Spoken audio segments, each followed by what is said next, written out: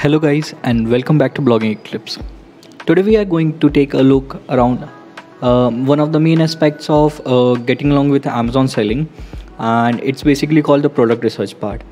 And there are different aspects while getting along with the your Amazon selling, or just as a normal seller, what uh, Walmart seller, or any kind of e-commerce seller.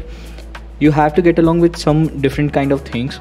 Uh, this basically includes product research, keyword research, listing optimization, uh, marketing, your operations, and some of the part with the analytics as well.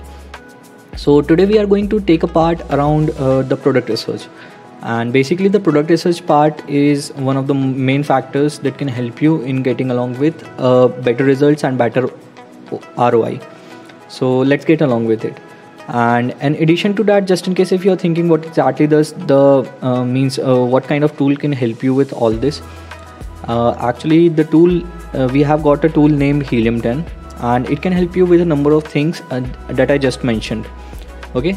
And some of the means some of the uh, tools and features offered by helium 10 are really helpful in making you a better amazon seller. And one of them is black box. Well basically the product research part uh, means that is performed using the helium 10 uh, have means have basically two different tools. One is for the black box another one is for the trendster. So today we are going to take uh, a look around black box and trendster.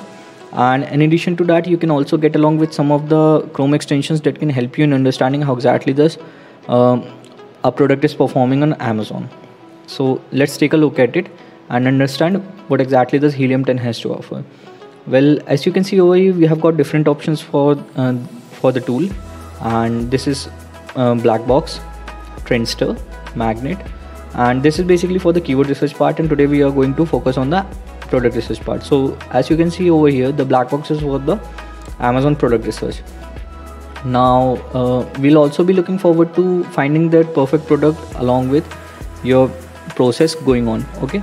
So actually i have got this page open over here for the amazon.com and i have actually uh, installed the chrome extension as well. So as you can see over here we have got this chrome extension and this is something that is offered by helium 10 as a part of its chrome extension. So you can click on it in order to understand how exactly does the product is performing and as you can see over here helium 10 is showing a health score of 10 out of 10 one is for the product images another phone uh, is for the listing text and reviews and ratings. Now in addition to that you can also get along with uh, some of the other features as well. So this is basically uh, a tab here over here which is offered by helium 10 so as you can see over here we have got different sections for the inventory levels x-ray keywords listing optimizer and profitability calculator. So this is this is what uh, how the product is performing. So we have got this product okay macbook pro charger and it's uh, one of the number one seller. It has got the listing health score of 10 out of 10 and you can get along with the sales and everything else uh, along with uh, the helium 10 in order uh, means in addition to that you can also get along with the ASIN number as well which is amazon standard identification number. And this all this can be uh, really helpful in, in performing the product research and everything.